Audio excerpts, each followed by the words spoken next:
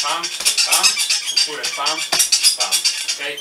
Senza caricamento, di qua diretto, ok?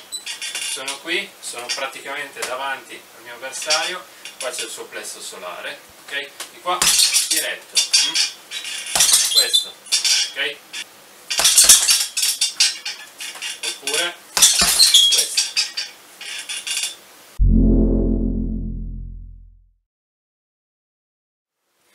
Ciao ragazzi, eccoci di nuovo con un altro video, questa volta siamo sempre confinati in lockdown, quindi siamo in una situazione di emergenza, siamo in cantina, abbiamo sempre qua il nostro sacco da 40 kg e vediamo adesso una tecnica di difesa personale che è alternativa a una strategia che viene spesso invece insegnata. Qual è la strategia che viene spesso insegnata?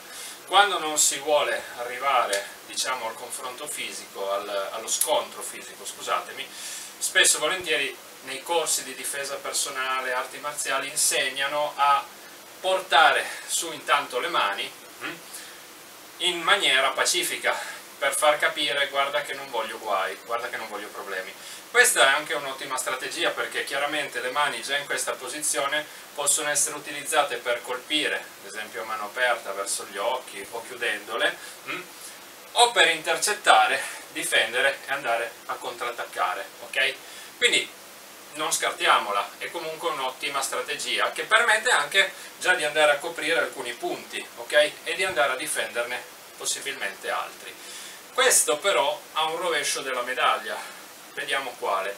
Potrebbe infatti essere interpretato come un eh, atteggiamento aggressivo, e magari chi abbiamo di fronte non è totalmente uno sprovveduto e dice quello davanti ha tirato già sulle mani perché vuole già arrivare a fare qualcosa. E quindi se voi state cercando di evitare di arrivare alle mani per varie ragioni, magari perché non siete da soli, magari perché eh, volete evitare poi ripercussioni legali, mille ragioni, insomma, potreste ottenere l'effetto opposto. Quindi sollevando le mani l'avversario pensa questo vuole combattere, di conseguenza vi attacca. L'altra possibilità è che invece lo eh, prenda come un gesto di paura, un gesto di eh, sottomissione, ok? Sollevo le mani, no guarda non voglio problemi, non voglio problemi. Quindi cosa succede? Esattamente come in un confronto tra animali, hm? non so se avete mai visto dei cani o dei gatti litigare, c'è un momento di stallo dove tutti e due non osano attaccare l'altro, ma appena uno dei due fa un passo indietro, accenna la fuga o ha un cedimento, l'altro improvvisamente prende coraggio e attacca. Questo succede anche con le persone, chiaramente. Spesso infatti molte situazioni si risolvono semplicemente mantenendo un aspetto e una, un atteggiamento sicuro, nonostante dentro siamo nervosi, magari c'è un po' di adrenalina, un po' di paura anche, perché anche sì, può capitare anche questo, non nascondiamolo. Quindi dentro sono nervoso, sono allo stesso tempo però pronto e all'esterno però appaio rilassato e sicuro di me. Questo è molto importante. Questo è il famoso vincere prima di vincere. Chi ha avuto del, dei problemi, magari delle litigate per la strada, sa di cosa sto parlando. Quindi attenzione, sollevare le mani potrebbe essere visto come un atteggiamento passivo, un atteggiamento di paura, di conseguenza l'altro prende coraggio e vi attacca immediatamente.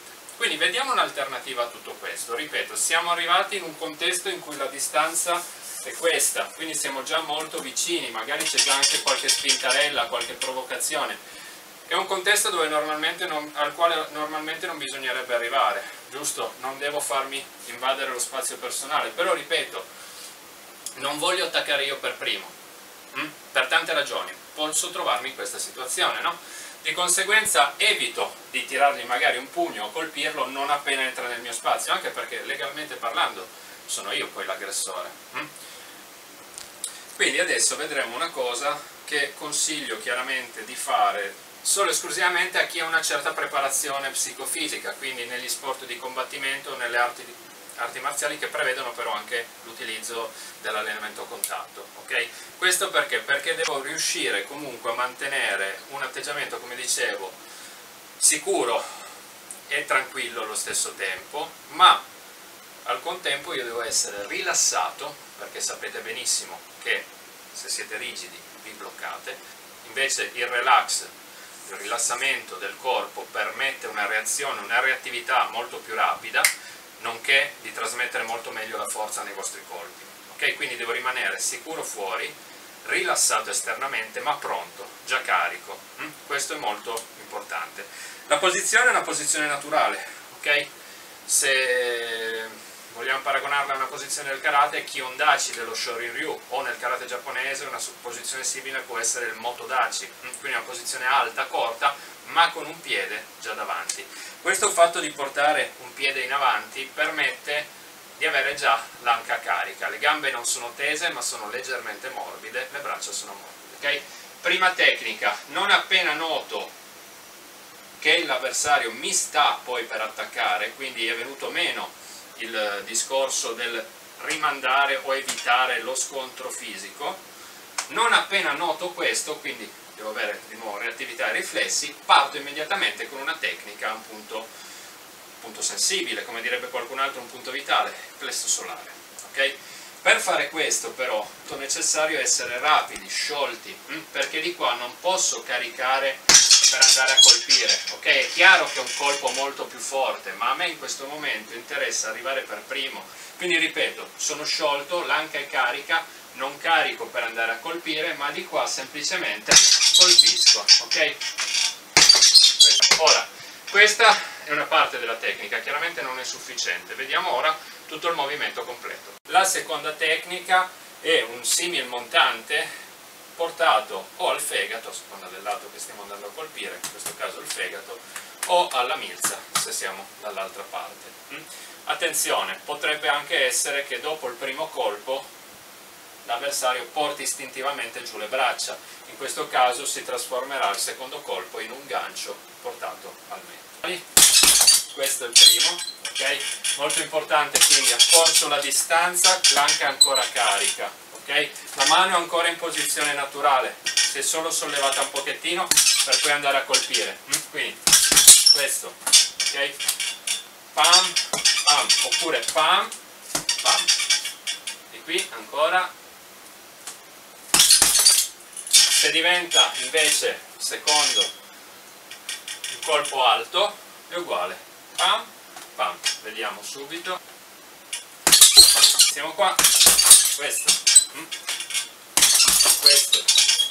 È molto importante se avanzo dopo il primo colpo mantenere la torsione dell'anca e del torso, del busto l'Okinawense di Kamaku per poi andare a scaricare tutta la forza quindi rilassati pam pam.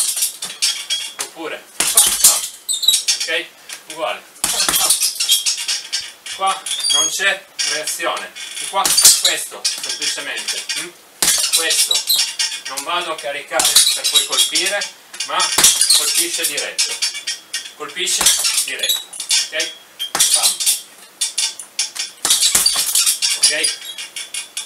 È chiaro che devo avere una certa velocità soprattutto una certa reattività il timing, il tempo di reazione questo è importante. Quindi appena vedo un minimo movimento parte la prima tecnica poi l'altra finisce chiaramente. Ok. Molto rapido. Questo. Ciao e grazie. Alla prossima